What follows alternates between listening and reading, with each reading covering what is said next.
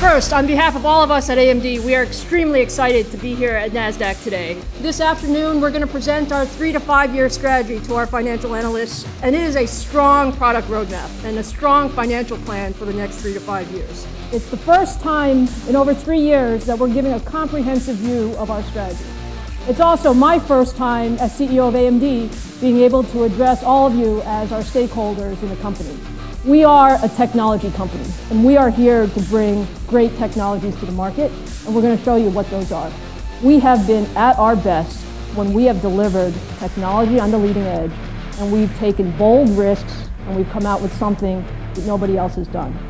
It's about building great products. That's what we stand for. We absolutely have the technology to gain share in graphics. We're number one today in game consoles and gaming. If you haven't seen virtual reality in action, you actually must, because it is an amazing thing. Our technology powers more than 220 million game consoles. And our graphics technology happens to power the largest billboard here in Times Square with our FirePro graphics. What we stand for is innovation, ensuring that we do things in the industry that either other people didn't want to do, didn't prioritize, or didn't think were important. That's our history. The world's first 64-bit x86 processor. That was AMD innovation. Breaking a gigahertz.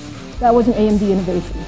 AMD is extremely proud to be part of the industry, extremely proud to be part of the innovation, and we look forward to a fantastic 10 years for our business. Thank you very much, and thank you again.